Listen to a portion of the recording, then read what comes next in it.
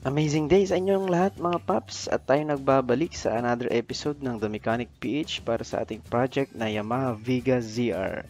At sa video na ito ay ating ire-restore ang ating uh, brake master ng ating Yamaha Vega. At yan nga, nung ating binaklas ito ay na-inspect natin na kailangan ng palitan ng ating kit. Na-inspect din natin ang, ang kanyang brake master bore ay okay pa kaya nag-order tayo ng repair kit. At nakikita nyo naman ang difference sa picture mga paps. At ayun na nga, kailangan muna nating linisin ang pyesa bago natin install ang bagong spare part. At gumamit ako dito ng screwdriver na mayroong nakadikit na 1,000 na liha para matlinis natin yung loob. Ayan, tulad ng nakikita nyo sa picture. At pagkatapos nating malinis yan, ay linisin natin ng brake cleaner at punasan natin yung loob gamit itong cotton buds. And after that ay ready nang install yung ating repair kit. So makikita nyo dyan ay meron tayong return spring at sa mga nagtatanong ng part number, yan po, pakipost nyo na lang po ang video. Ito pong repair kit na ito ay pwede rin po sa Yamaha Mio uh, Brake Master. Halos pares lang po yung mga Yamaha ng Brake Master. At yan nga, gumamit ako dyan ng uh, allen para ma-hold into position ang ating piston. So, yan po ang piston ng ating brake master. At kailangan nating ilagay ang lock nito na circlip. So, gagamit tayo dito ng circlip plier para may lagay ng maayos ang ating circlip nang sa ganun ay mag-lock in place at hindi lumabas ang ating piston. So, ang circlip na yan mga paps ay may groove. Make sure lang na nakalagay sa groove ang ating circlip para safe po tayo at hindi matanggal ang ating piston habang ito ay ginagamit natin. At kapag nailagay na yan, ay ilalagay din natin yung ating dust boot which is makikita nyo mamaya. But make sure na nakalagay yan dyan sa groove niya kasi napaka-importante niyan mga paps. So upon inspection pala nitong brake master natin, no, tingnan nyo kung may gas-gas yung loob nung pinapasukan ng piston natin dahil kung may gas-gas na yun mga paps ay hindi na talaga siya pwedeng i-repair pa kung malaki na yung gas-gas. So sa case na to ay wala pa naman siya o minimal pa lang yung gas-gas niya. Maliit lang. Okay?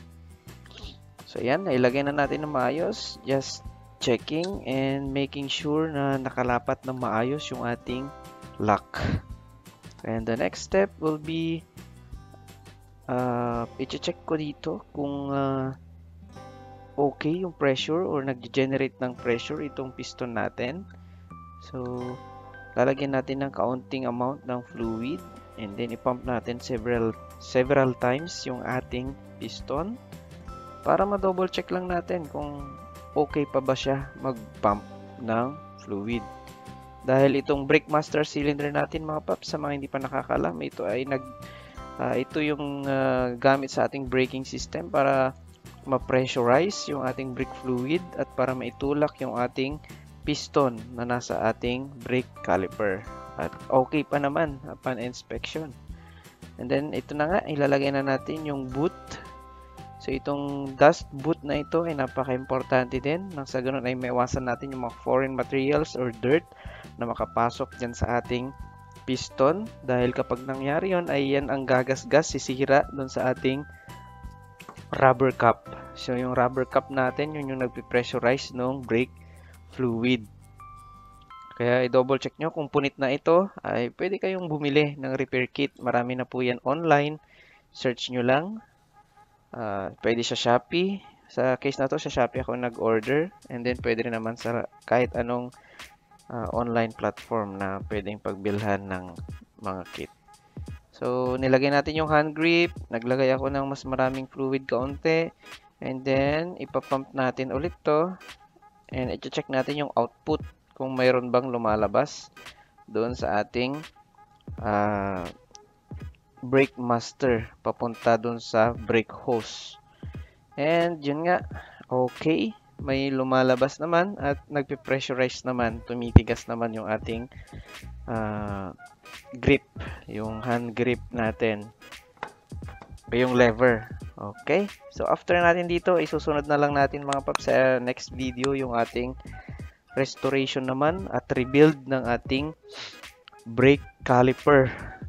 So dito ay install na natin yung ating brake master. Ilalagay na natin yung hose papuntang caliper and then magpe-perform tayo ng brake bleeding na tinatawag. So ang brake bleeding mga paps ay ginagawa yan kapag ka nag-service tayo ng brake system at kailangan nating tanggalin yung air or moisture na natrap dyan sa system dahil hindi yun maganda sa ating braking system dahil kung may hangin po ay hindi natin magagamit yung ating brakes full efficiently dahil malambot po ang ating lever.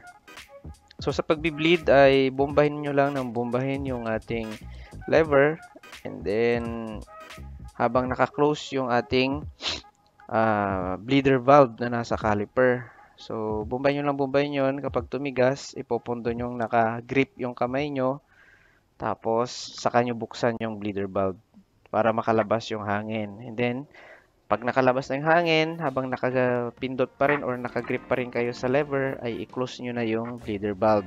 And then, ulitin nyo lang na ulitin yung process. Bumbay nyo ulit yung uh, brake master natin hanggang sa tumigas at makita nyong purong brake fluid na yung lumalabas dun sa bleeder valve. Okay? So, kayang-kaya nyo itong gawin mga paps. Para sa mga nag-DIY, kayang-kaya nyo gawin yan.